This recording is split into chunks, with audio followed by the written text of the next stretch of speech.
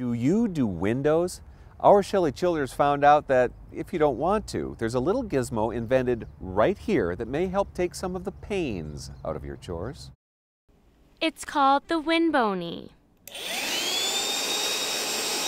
I think we were actually in this lab one night and we're like, oh, this is totally like a Zamboni for a window. Totally like a Zamboni, but developed by a team of MSU engineering students. This little robot just won a big time award.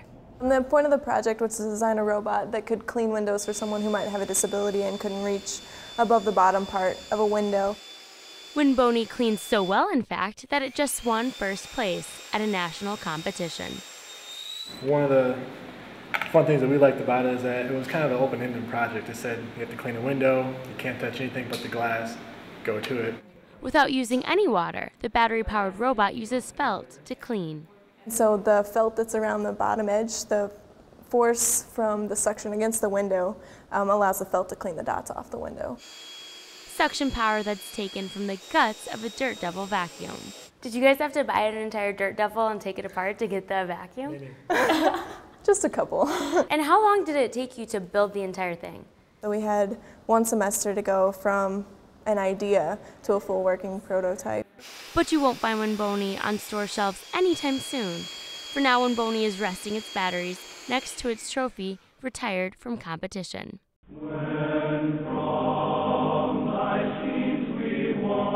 We leave you with the second verse of the alma mater, and we say farewell to the seniors in the band.